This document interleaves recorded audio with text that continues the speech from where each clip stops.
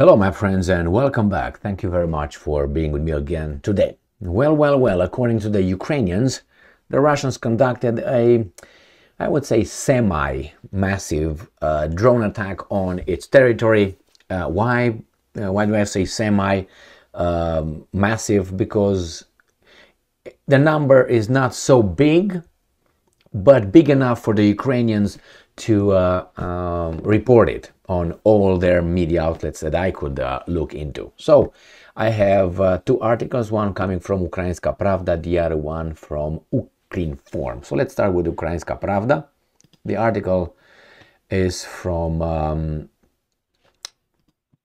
Thursday, November 16th, uh, 2023 most of Russian drones and a missile launched by Russia overnight downed by Ukraine. The assets and personnel of the Ukraine Air Forces destroyed 16 out of 18 Russian attack drones on the night of 15 per 16 of November. A KH-59, let me put this right here, guided missile was downed in Poltava Oblast. We're going to look where Poltava Oblast. I also have a, a map ready.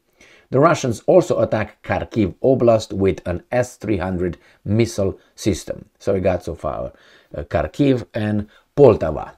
The Russians, quote, the Russians attacked from the southeast, namely Primorsko-Akhtarsk in Russia, using 18 attack Shahed drones on the night of 6, 15 per 16 of November. An air raid warning was issued throughout the territory of Ukraine.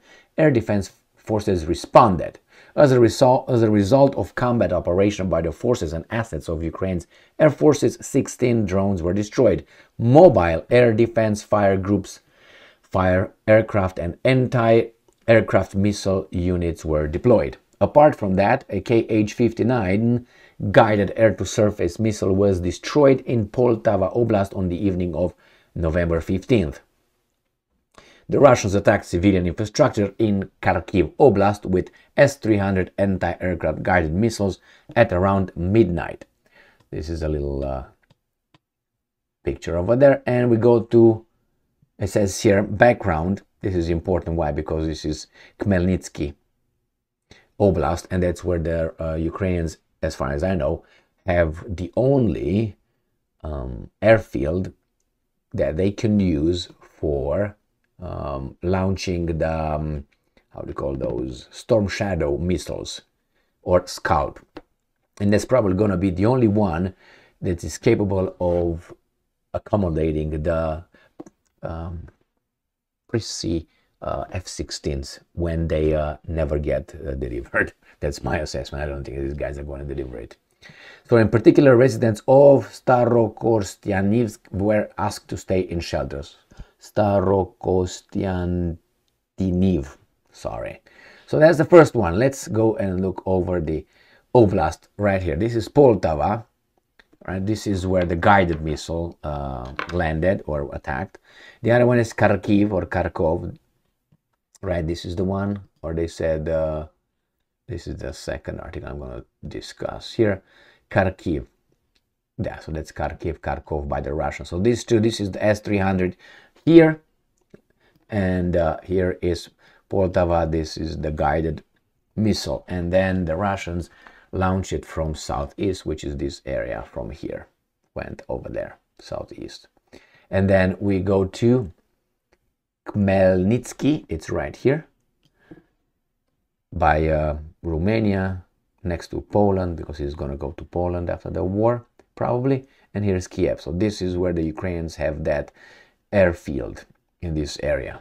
So let's go to the next article coming from Ukrinform Ukraine downs 16 Shahed drones guided missile in Papapap, in November 16, the Ukrainian forces destroyed 16 Shahed UAVs out of 18 launched by Russia and intercepted a guided missile in the evening of Wednesday.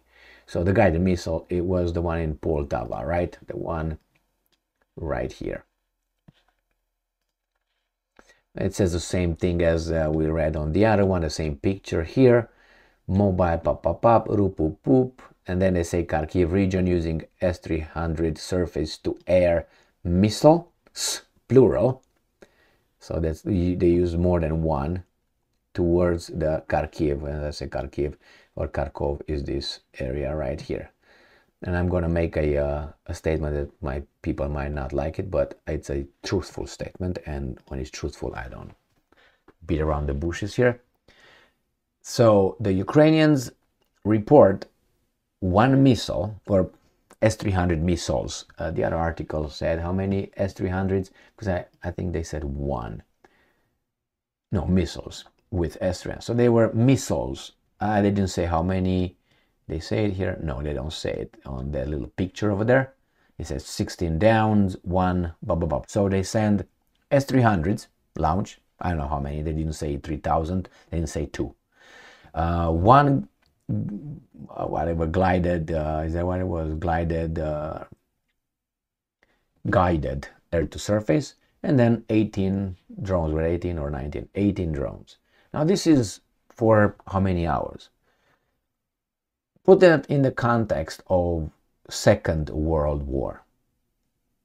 Now, what do you think?